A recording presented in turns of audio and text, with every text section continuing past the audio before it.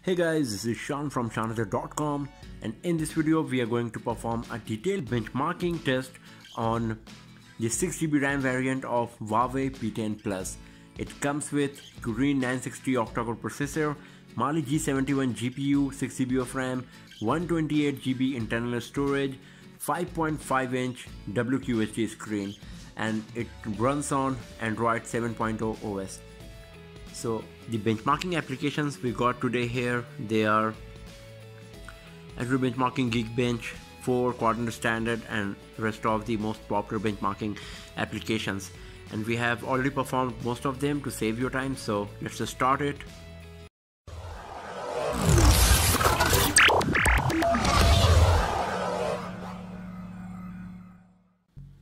So let's start with the AnTuTu benchmarking. It's one of the most popular benchmarking application.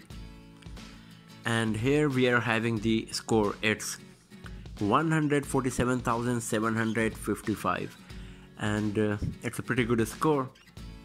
If you go to the ranking tab, you can compare this score with rest of the smartphones. So as you can see that at first position, it's OnePlus 5 with 181,879 Nubia Z17 at the second position U11 is at the third position Galaxy S8 Plus is at fourth position all of these devices uh, they got Qualcomm Snapdragon 835 processor.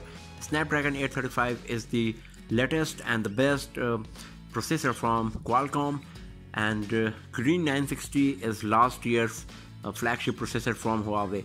So this is the reason that uh, these devices are performing better with Snapdragon 835 our device is at 17th position with 147,755 just above it is LeEco Le Max 2 uh, LeEco Le Max 2 comes with Qualcomm Snapdragon 820 processor.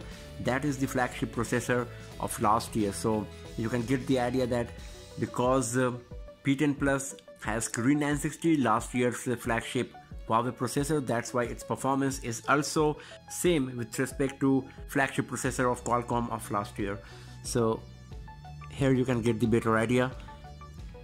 And uh, let's go back. Let's have a look on Geekbench 4 and we have performed this test as well. Let's have a look on the result. So for single core it's 1875 and multi-core is 6575 and for multi-core it is really a very nice score. If you go to these individual tabs you can compare the result of rest of the smartphones so you can see that our device is at top Huawei P10 Plus with 6GB RAM. Uh, the second position is of Galaxy S7 and it goes down. And if you go to the multi-core here you can have a look on the performance and the score of Huawei P10 Plus with rest of the smartphones. And you can see that first position is occupied by P10 Plus and um, Note 7 is at second position and once again the list goes down. So in both of these tests single core and multi-core Geekbench 4 Huawei P10 Plus is coming at top. And the next one is Basemark OS 2 let's have a look on the results so it's 2881 and uh, this is not one of the best score because we have seen last year uh, like iphone 7 it crossed 3000 as well. But uh, considering the fact that Huawei P10 Plus comes with uh, Kirin 960 that's a bit old processor now this performance is still very nice and you can have a look on the individual test score here as well and you can compare this result with rest of the smartphone by watching our previous videos of other flagship devices and their benchmarking test scores.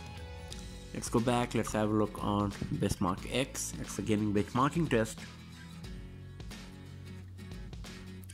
And the score is 43,795 and it is once again this score is very much similar to rest of the flagship devices of last year so if you have used any of those devices like HTC 10 Samsung Galaxy S7 so you can get the idea that performance of Huawei P10 Plus uh, will be pretty much same with those devices And once again, you can watch our previous videos to get the better idea of uh, Huawei P10 Plus benchmarking score and those uh, other devices benchmarking score.